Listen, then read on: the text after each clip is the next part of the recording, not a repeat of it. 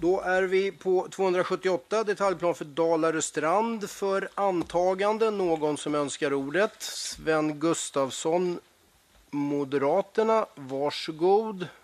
Eh, den här detaljplanen eh, den är eh, i första hand den har i första hand till syfte att rusta upp centrala delarna av Dalarö och kanske den platsen som är viktigast ur besöksnäring. Eh, ur bostadsförsörjningsperspektiv så kommer den bidra till omkring 35 bostäder. Ehm, det har eh, varit väldigt många diskussioner om den här detaljplanen eh, för det är ett väldigt känsligt område att exploatera i. Och eh, tidigare, I ett tidigare ärende nämndes Lyngsåsa som var ett liknande ärende som, ärende som kanske inte hanterades på lika bra och genomgående sätt. Jag känner eh, en, en, stor trygghet i att vi har kommit fram till det här förslaget slutligen och vi har till och med haft extra utskott för att utreda framförallt de synpunkter som de boende och föreningar i Dalarö har haft och det är jag väldigt glad för. Från trepartialliansen, ja hela oppositionen i stadsbyggnadsnämnden så har vi ju under den här resans gång påpekat att vi måste ta tag i parkeringsplatser på Dalarö. Det är ett känt problem sedan många år tillbaka. Ehm, vi har inte vunnit gehör för det här och anser att detaljplanen hade kunnat möjliggöra fler eh, besöksparkeringar, framförallt vid handplan. Men vi respekterar processen och tänker inte Eh, har något eget förslag och vi får helt enkelt konstatera att eh, eh, parkeringsplatser, den lösningen får man lösa utanför den här detaljplanen. Det blir lite tuffare men jag är övertygad om att man kommer kunna göra det. Så vi erhåller bara om att lämna ett särskilt yttrande. Då är nästa talare Mattias Bernhardsson, Rättvisepartiet Socialisterna. Varsågod. Ja, med de eh, argument jag lade fram på den förra punkten så yrkar Rättvisepartiet Socialisterna även här avslag. Och då är nästa talare Göran Svensson. Det här är ju som Sven Gustafsson antydde en oerhört viktig plan och den är väl värd att uppmärksammas. För den här planen den omvandlar ju då området där Strand Hotell som väl var en pärla på Dalarö för hundra år sedan kanske, men som är lite bedagad idag. Att, den, att det gamla hotellet rivs och så blir det som vi hörde då 35 bostäder. Det som är lite unikt är att de här 35 bostäderna de är uppdelade i hela 11 fastigheter eller byggnader.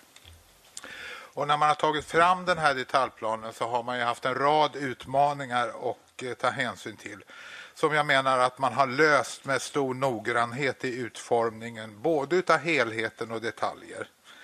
Man har tittat på färgsättning, fasader, huskropparnas storlek och detaljer som, och fått det att knyta an till byggnadstraditionerna på det äldre Dalarö.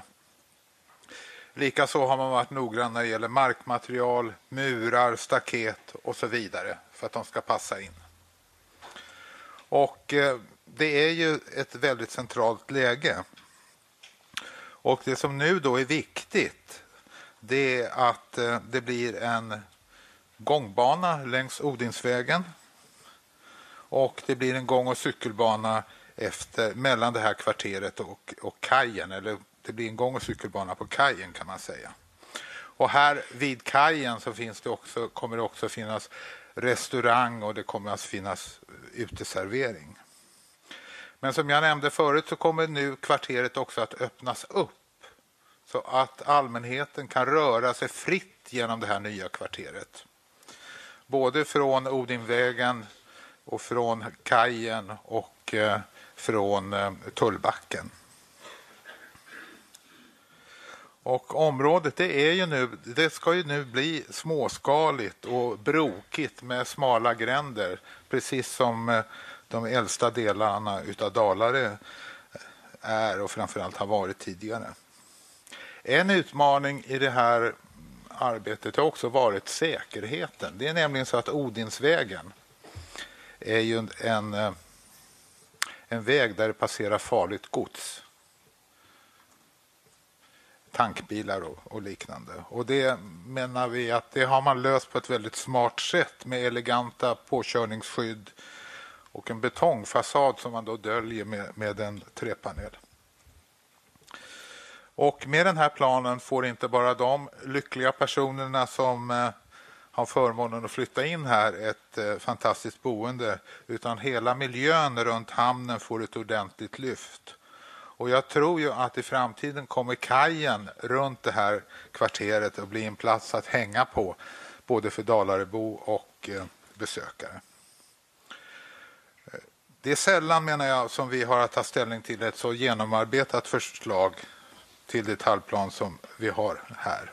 Och nu är de inte närvarande alla dessa, men jag skulle vilja framföra ett tack till Veidekke Bostad som då är exploatören och som vi hörde Sven var inne på lite grann på ett tidigt stadie tog en ordentlig dialog med intressenterna ute på Dalarö. Brunberg Forsberg, arkitektkontoret, har gjort ett fantastiskt arbete. Kommunens tjänstemän men också inte minst de organisationer och de boende på Dalarö som har engagerat sig i det här projektet. Deras engagemang det har ju faktiskt medfört att eh, det här förslaget är just så bra som det är. Så bifall till kommunstyrelsens förslag. Då är nästa talare Marie Litholm, Kristdemokraterna. Varsågod.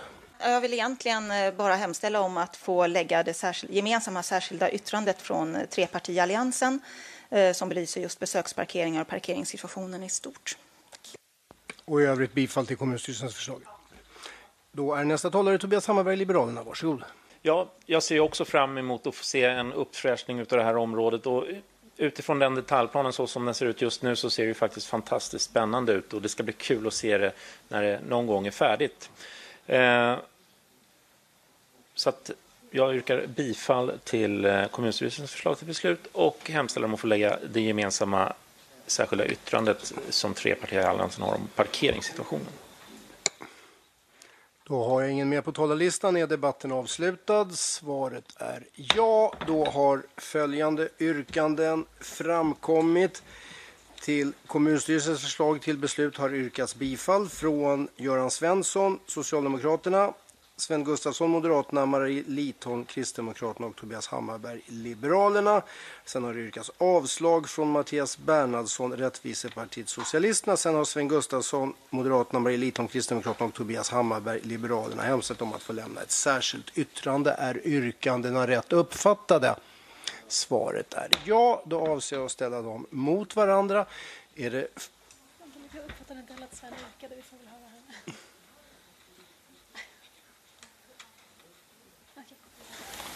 Så. Eller så.